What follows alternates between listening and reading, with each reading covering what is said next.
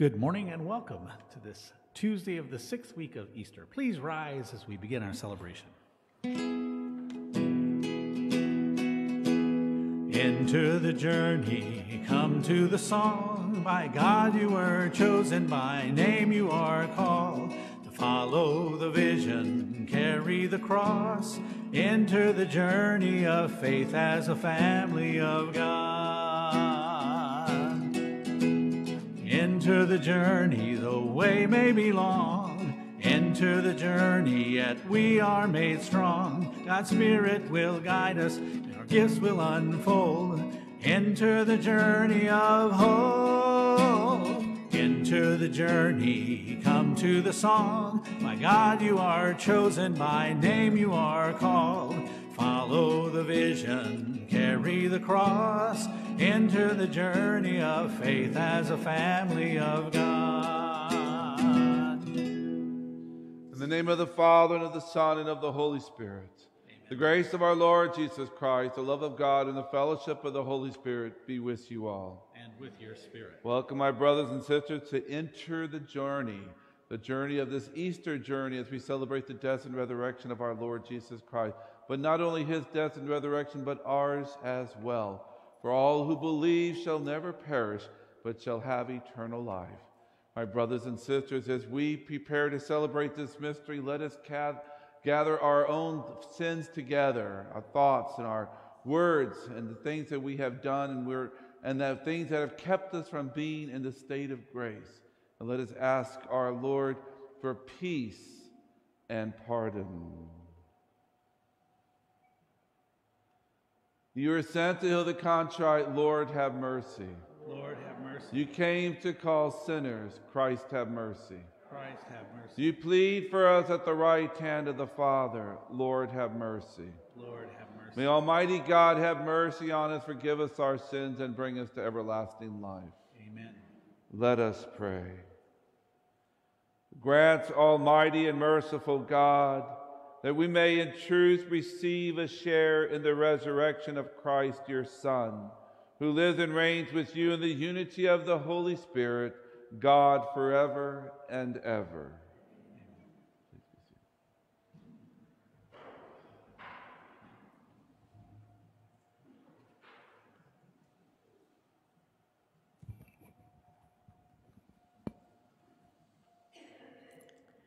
A reading from the Acts of the Apostles. The crowd in Philippi joined in their attack on Paul and Silas, and the magistrates had them stripped and ordered them to be beaten with rods. After inflicting many blows on them, they threw them into prison and instructed the jailer to guard them securely. When he received these instructions, he put them in the innermost cell and secured their feet to a stake. About midnight, while Paul and Silas were praying and singing hymns to God, as the prisoners listened, there was suddenly such a severe earthquake that the foundation of the jail shook, and the doors flew open, and the chains of all were pulled loose. When the jailer woke up and saw the prison doors wide open, he drew his sword and was about to kill himself, thinking that the prisoners had escaped. But Paul shouted out in a loud voice, Do no harm to yourself. We are all here. He asked for a light and rushed in, and trembling with fear, he fell down before Paul and Silas. Then he brought them out and said, Sirs, what must I do to be saved? And they said, Believe in the Lord Jesus, and you and your household will be saved. So they spoke the word of the Lord to him and to everyone in his house. He took them in at the hour of the, of the night and bathed their wounds. Then he and all his family were baptized at once. He brought them up into his house and provided a meal, and with his household rejoiced at having come to faith in God. The word of the Lord.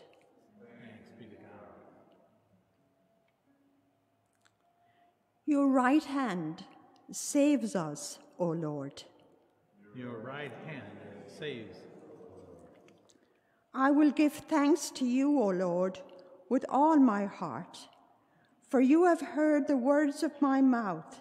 In the presence of the angels, I will sing your praise. I will worship at your holy temple and give thanks to your name. Your, right, hand is safe. Because of your kindness and your truth, you have made great above all things your name and your promise. When I called, you answered me. You build up strength within me. Your, right hand has saved me, O Lord. Your right hand saves me. The Lord will complete what he has done for me. Your kindness, O Lord, endures forever. Forsake not the work of your hands. Your right hands will save me, O Lord. Alleluia,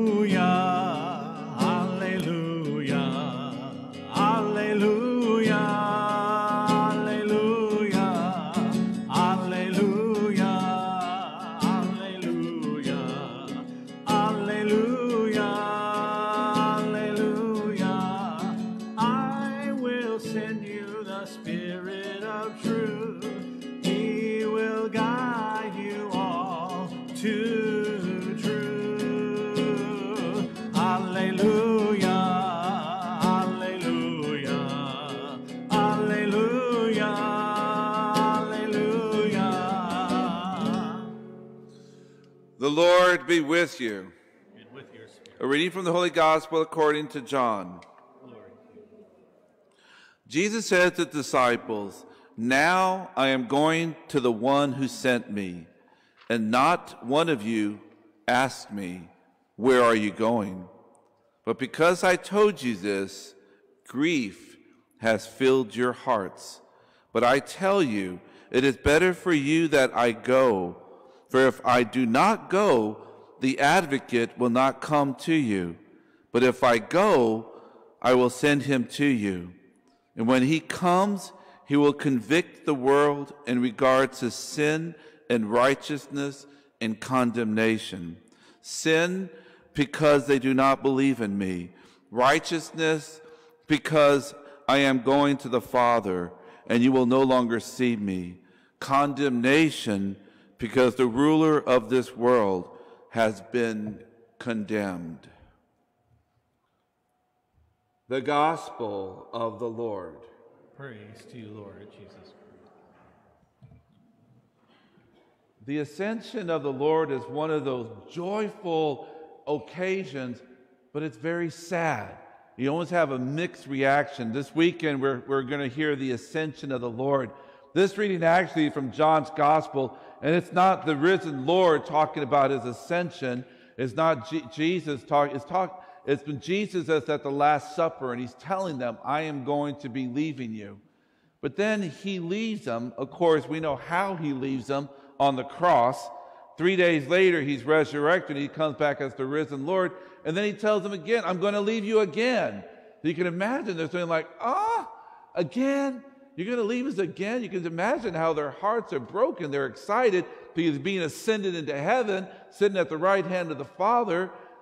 But he's not going to abandon us. That's what Jesus is saying. I know how you're feeling right now. You're probably feeling abandoned. You're probably feeling like orphans. That what, you're going to leave us again? And Jesus is saying, But I'm not, because I'm going to leave you the Holy Spirit. That's very beautiful to remind us that we have the Spirit, the, the advocate. Another term for advocate is comforter. He's going to comfort us in our times of dis- despair, in our times of disparity, in times of, of darkness, in the times of our trials and tribulations, that we're not going to be alone. But it's just like having Jesus with us, He's leaving the advocate. Of course, we come to know the advocate as the Holy Spirit, right? The third person in the Trinity God the Father, God the Son, and God the Holy Spirit. But Jesus saying, but the Holy Spirit can't come until I leave. I have to leave you in order for the Holy Spirit to come. And it kind of reminds me when Jesus was, was washing the feet of the disciples, and Peter said, No, you're not. You can't wash my feet. And Jesus said, But unless I wash your feet, you can't enter the kingdom of God. Jesus said, Well, here, then wash my whole body, right? Wash my whole face. Because we all want to go into the kingdom of God, but sometimes we don't want to do that which gets us there. And it's hard to be a Christian in, the, in this world today. It's, it's hard to trust. We call that, that not so much blind faith, but the leap of faith. That we have to trust the Lord. And sometimes it's difficult when you're seeing, but Jesus, I don't want you to leave us. I want you to stay. But I have to leave in order for the advocate to come. And he said, Okay, Jesus. It, it, it gives us a little bit more understanding and a little bit more peace to know that you're going to be gone, but we're still going to miss you. But I'm not going to be far from you. Kind of like when we lose a loved one. When, you know, when my mother died five years ago, a part of me died with her that I'll never ever get back again.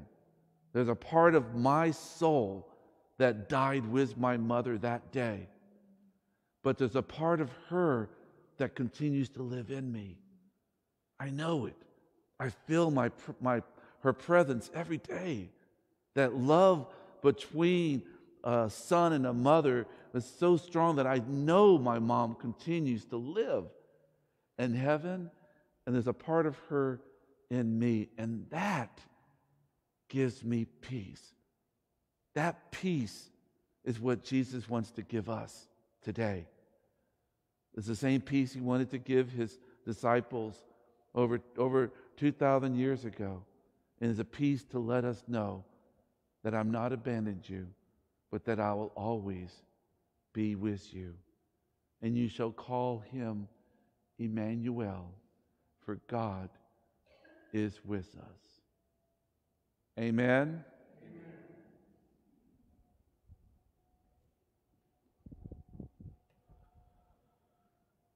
Please stand for the prayers of the faithful.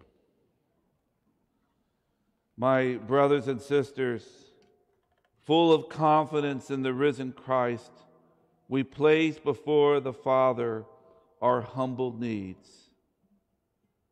For all members of the universal church, May the Holy Spirit inspire us in bearing witness to Jesus as Paul and Silas did. We pray to the Lord. For elected officials, may God bless their work of protecting life from conception through natural death. We pray to the Lord. For those who are imprisoned, may God grant them hope we pray to the Lord. Lord, hear our prayer. For this faith community, as we continue our journey to Pentecost, may God open our hearts to receive the Holy Spirit more fully. We pray to the Lord. Lord, hear our prayer. For the souls of the faithful departed, and we pray for all of our deceased mothers and especially the names that are written in the envelopes for the Mother's Day novena. And we also remember at this Mass the reposing souls of Annie Rose Moreno and Rosalinda Rubio. May they and all of our beloved departed, through the mercy of God, rest in eternal peace. We pray to the Lord. Lord, hear our prayer. and for the special intentions of this Mass, for Victoria Prieto, and for my friend Gary as he's suffering with his sickness. We pray to the Lord. And for our own intentions that we hold in the silence of our hearts.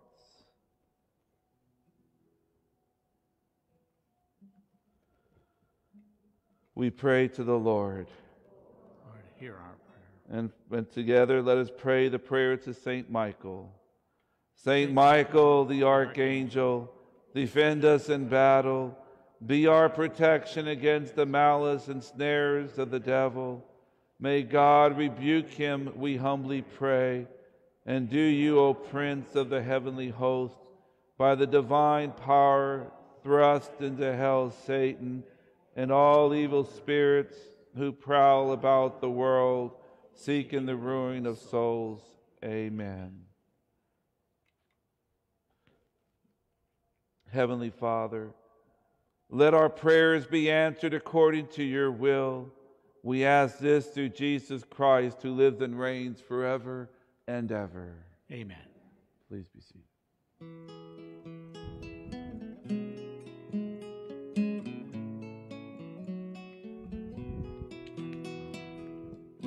My soul doth glory in your love, My soul doth glory in your love, O Lord. For you gazed on your servant with compassion and you reached out and took me by the hand. Great are you, God, and holy is your name. Your mercy reaches to the ends of time. Ah, the lowly you raise to the heavens,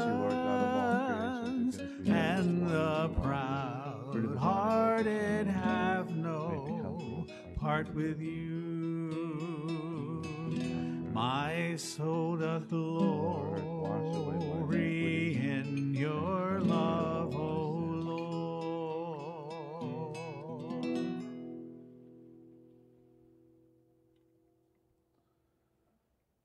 Pray, my brothers and sisters, that my sacrifice and yours may be acceptable to God the Almighty Father.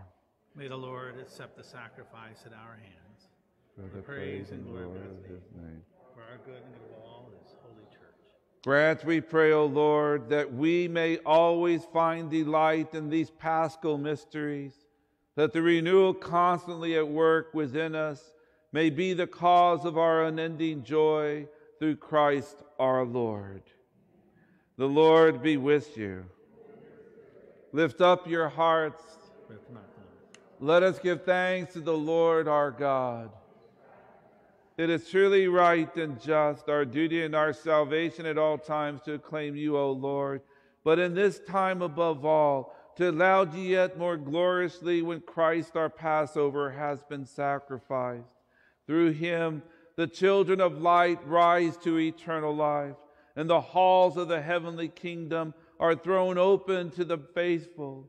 For his death is our ransom from death, and in his rising the life of all has risen. Therefore, overcome with paschal joy, every land, every people exalts in your praise, and even the heavenly powers with the angelic host sing together the unending hymn of your glory as they acclaim. Holy, holy, holy Lord, God of hosts, heaven and earth are full of your glory. Hosanna in the highest. Blessed is he who comes in the name of the Lord. Hosanna in the highest. You are indeed holy, O Lord, the fount of all holiness. Make holy, therefore, these gifts, we pray, by sending down your Spirit upon them like the dewfall, that they may become for us the body and blood of your Son, our Lord, Jesus Christ.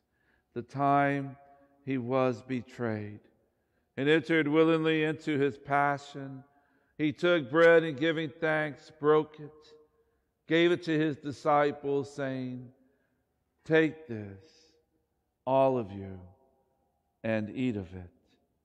For this is my body, which will be given up for you.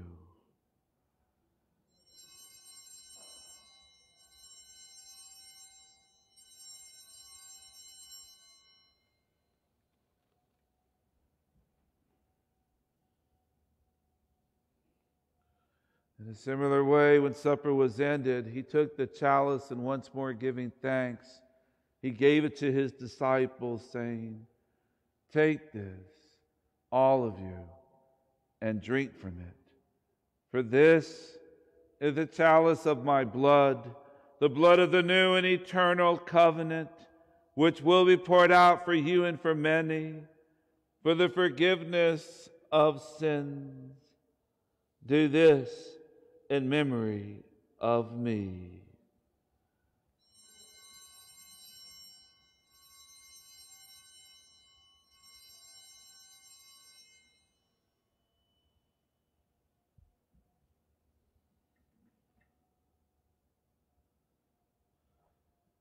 The mystery of faith. We proclaim your death, O Lord, and profess your resurrection until you come again. Therefore, as we celebrate the memorial of his death and resurrection, we offer you, Lord, the bread of life and the chalice of salvation, giving thanks that you have held us worthy to be in your presence and minister to you. Humbly we pray that partaking of the body and blood of Christ, we may be gathered into one by the Holy Spirit. Remember, Lord, your church spread throughout the world and bring her to the fullness of charity, together with Francis, our Pope, and Gustavo, our Bishop, and all the clergy. Remember also our brothers and sisters who have fallen asleep in the hope of the resurrection, and all who have died in your mercy. Welcome them into the light of your face. Have mercy on us all, we pray, that with the Blessed Virgin Mary, Mother of God, with blessed Joseph, her spouse, with the blessed apostles, and all the saints who have pleased you throughout the ages, we may merit to be co heirs to eternal life and may praise and glorify you through your Son, Jesus Christ. Through him and with him and in him, O God Almighty Father, in the unity of the Holy Spirit, all glory and honor is yours forever and ever. As we stand together with faith and confidence in eternal life, at the Savior's command, informed by divine teaching, we dare to say, Our Father, who art in heaven, hallowed be thy name. Thy kingdom come, thy will be done on earth as it is in heaven. Give us this day our daily bread, and forgive us our trespasses, as we forgive those who trespass against us. And lead us not into temptation, but deliver us. Deliver us, Lord, we pray, from every evil. Graciously grant peace in our days that by the help of your mercy we may be always free from sin and safe from all distress, as we await the blessed hope and the coming of our Savior, Jesus Christ. For the kingdom, the power, and the glory are yours. Lord Jesus Christ, who said to your apostles, Peace I leave you, my peace I give you. Look not on our sins, but on the faith of your church and graciously grant her peace and unity in accordance with your will, who live and reign forever and ever. The peace of the Lord be with you always. And with your spirit. Let us offer each other a sign of peace.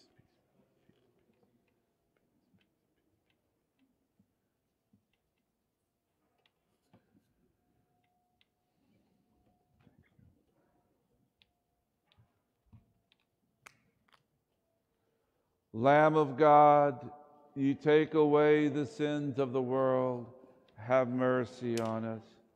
Lamb of God, you take away the sins of the world, have mercy on us. Lamb of God, you take away the sins of the world, grant us peace.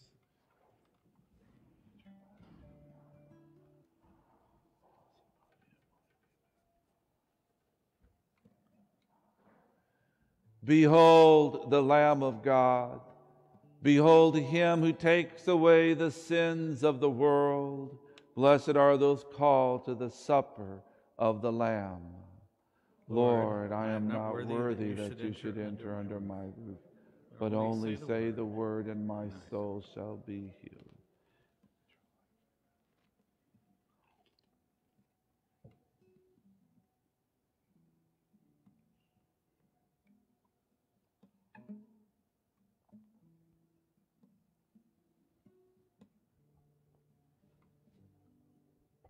Once again, a reminder to please keep your, your mask on at all times. If you have hand sanitizer, this is a good time to sanitize your hands before you come forward. We ask you, please, if you're receiving communion, to only receive in the hand, not in the mouth. And once you receive in the hand, you may remove your mask, consume, and put your mask back on. If you're not receiving communion today, we still invite you to come forward for a blessing by simply putting your arms across your chest, myself and the minister will give you a blessing. Once again, thank you for your patience and your participation during this time of the pandemic.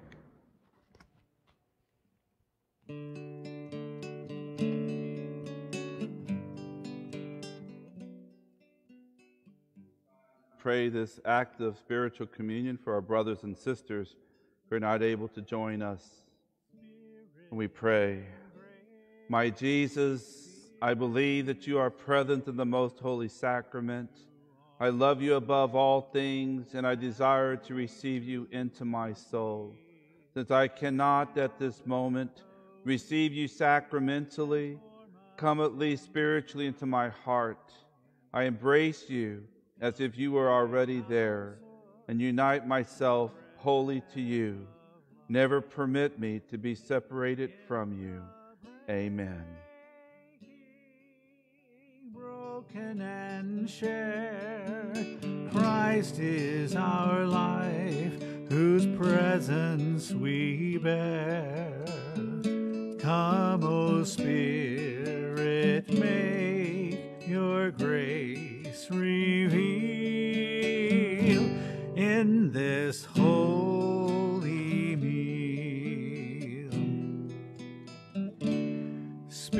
Spirit and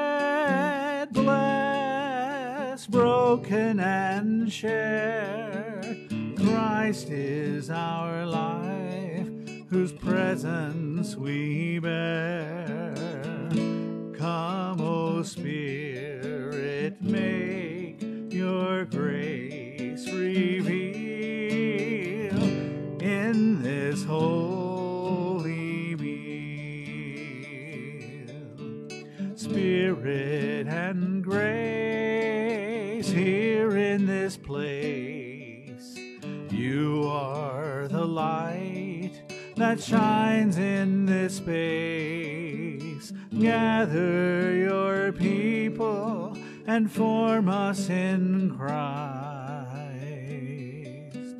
Come be the heart of our life in the bread blessed, broken and shared. Christ is our life, whose presence we bear. Come, O Spirit, make your grace reveal in this holy meal.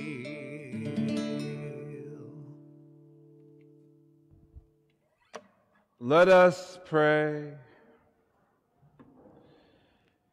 Hear, O Lord, our prayers. May this most holy exchange by which ye have redeemed us may bring your help in this present life and ensure for us eternal gladness through Christ our Lord. Amen. We have the prayer to Our Lady Guadalupe that we continue to pray during this pandemic. And together, let us pray. Our Lady of Guadalupe, in these times of tribulation, we turn to you, O Mother. See with compassion the suffering of your beloved sons and daughters affected by the coronavirus pandemic throughout the entire world. Ask your Son to have mercy on us, bringing healing to those infected and protection to all your children. Jesus Christ, Savior of all people, grant us courage to accompany and care for the entire world in the wake of sorrow and uncertainty. We seek refuge in you, and according to your promise, deliver us from this danger. Amen. St. Anthony of Padua, Pray for us. St. Luke, Pray for us. the Lord be with you. With your spirit. May Almighty God bless you, the Father, the Son, and the Holy Spirit. Amen. The celebration is ended. Let us now go in peace to love and serve the Lord and one another. Thanks, Thanks be, be to to God. God. Here I am, Lord. Is it I,